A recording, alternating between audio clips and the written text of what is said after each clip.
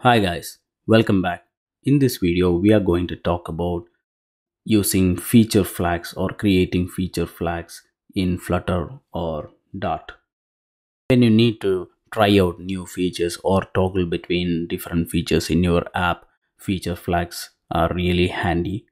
And in this video, we will discuss on how to create feature flags in Flutter or Dart using enumerations. Let's see how it is done. Okay, I have written the code in Dartpad, uh, so it will be easy to discuss. So first of all, I have created an enumeration called environment, which defines dev, QA, and prod. Of often in most of our apps, we have this environments defined so that we can switch your features based on that. Then you have another enum called feature type. This is where you have the uh, features that you want to toggle between or turn off and on. So I have two features let's say feature 1 and feature 2 are the two enumerations. Uh, then I uh, make use of the extension features uh, in Dart. So I apply an extension or I create an extension on feature type. So this is something similar to how we do it in Swift. So in Swift, the difference is like you can have functions and variables within the enumerations uh, so that you can compute things. So here we write extension and I added this function is feature available is feature enable for and which takes in an environment. Then I have a couple of uh, nested switch cases. So first we will switch for environment and let's say if the environment is dev then we say like okay feature 1 and feature 2 should be true.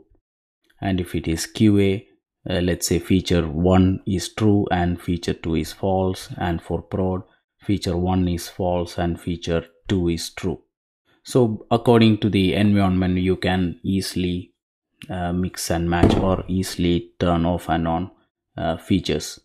Now let's see how we use it. So i have this class let's say we know the environment is prod right now.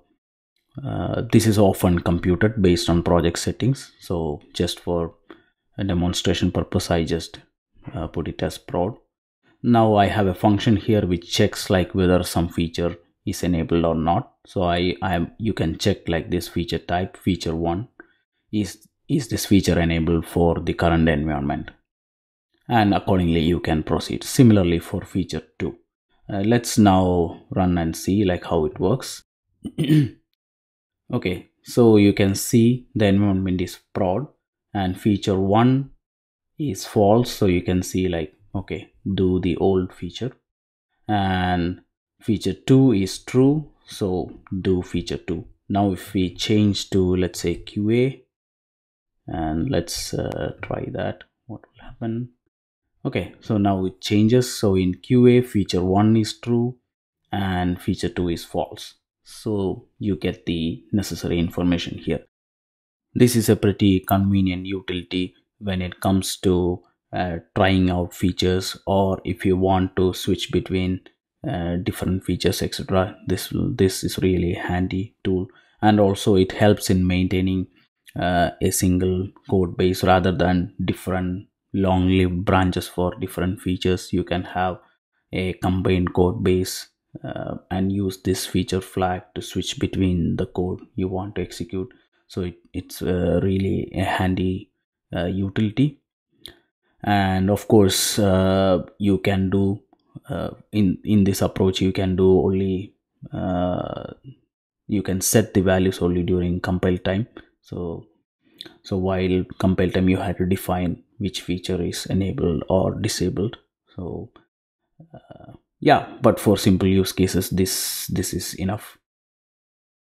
Yeah that's all uh, i want to discuss. I'll put the uh, code in description. Try it out. Thanks for watching. Bye bye